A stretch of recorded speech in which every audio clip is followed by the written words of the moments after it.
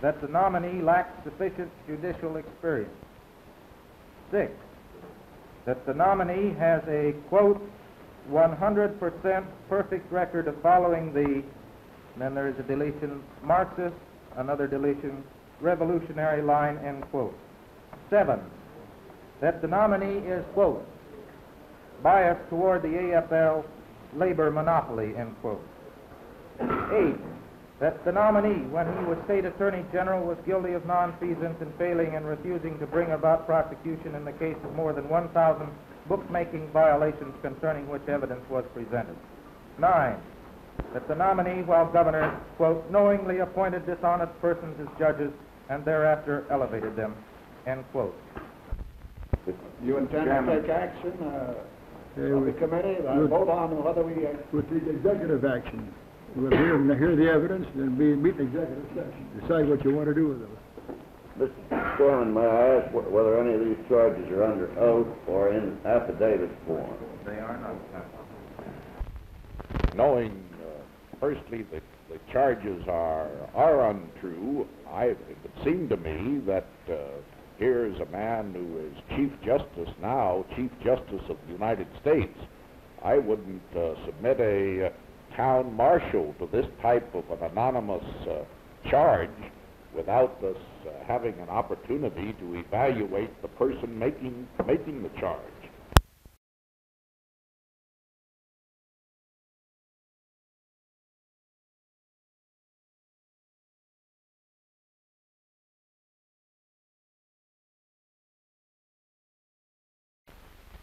Mr. German, do you think this endorsement of Senator McCarthy will either help or hinder the Sons of the American Revolution? I think it will cause harm. Senator McCarthy uh, is associated in our minds with uh, distortion, unwarranted uh, accusations, unsubstantiated statements, and with the great harm that he has done our country abroad. I believe that he has done more harm to our country abroad than uh, all of the uh, Soviet propaganda apparatus could possibly have done.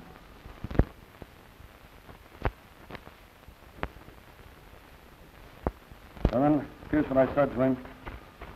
I, as I look it over, I think my language was too tempered. If I were repeating it today, it'd be much stronger. This, this is the abuse. This is the official reporter's record of the hearing. After he said that he wouldn't remove that general from the army who cleared a communist major, I said to him, I said, then, General, you should be removed from any command. Any man who has been given the honor of being promoted to general and who says, I will protect another general who protects communists is not fit to wear that uniform, General.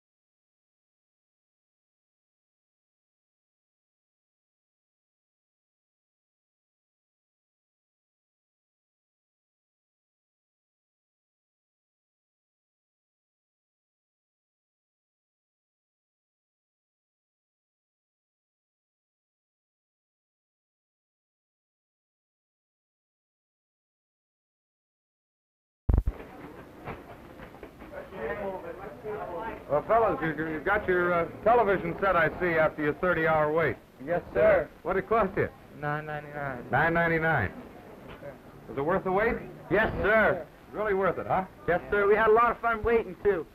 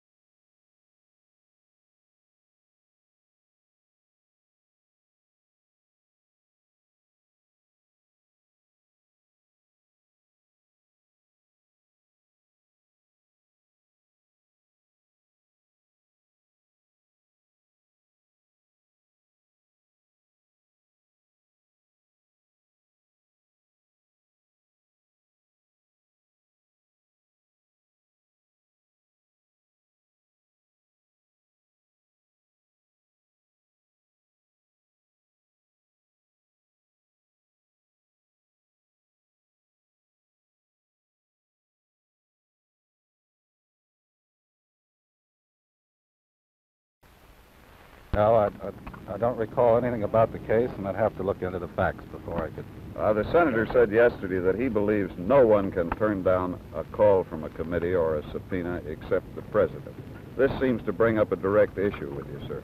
Can you uh, expand your attitude toward that? No, I am not going to add anything to the situation in advance of the hearing.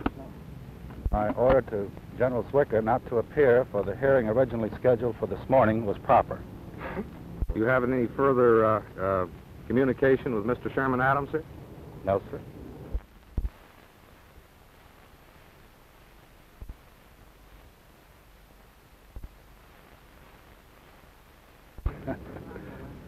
I just don't know how to answer that question.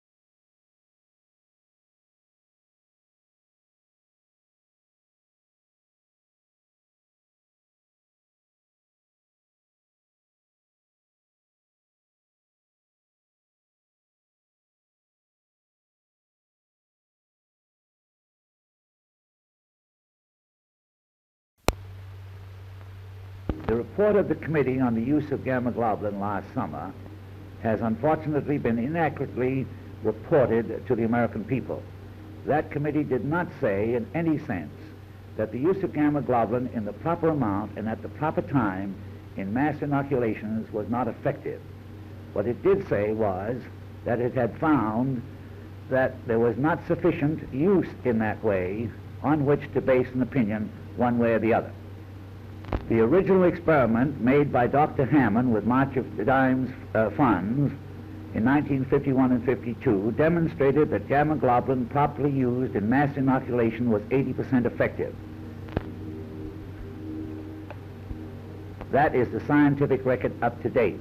The National Foundation therefore will continue to make gamma globulin available this summer in mass inoculation. That is its obligation to the American people.